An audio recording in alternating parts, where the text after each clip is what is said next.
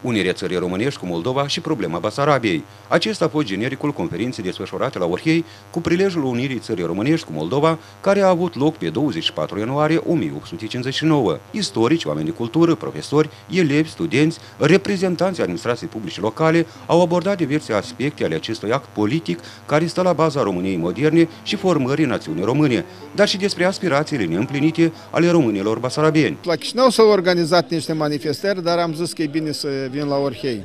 Uh, m-am bucurat când această sală au fost uh, profesori, au fost oameni mai în vârstă cu înțelepciunea care o au și au fost tineri care au uh, rezistat până la urmă și au participat la această conferință care este binevenită. Este foarte bine ceea ce s-a întâmplat astăzi. Au, am ascultat cu, comunicări foarte importante, am ascultat niște poezii patriotice care îndeamnă lumea să mediteze. Lumea trebuie să știe care ne sunt rădăcini. Scopul a fost ca să aducem la cunoștință tuturor celor prezenți ce s-a întâmplat, cum s-au derulat evenimentele Unirii, uh, cine a participat, cum a primit opinia publică mondială acest eveniment și fără doar și poate importanța pentru Basarabia, care era înstrăinat atunci de către Rusia țaristă. Tinerii participanți la conferință afirmă că au aflat multe lucruri interesante din prelegerile susținute și că le vor fi de un real folos în studierea istoriei statului român. Cred că a fost uh, ceva interesant, uh, deoarece am mai pătruns încă o dată în specificul uh, trecutului nostru istoric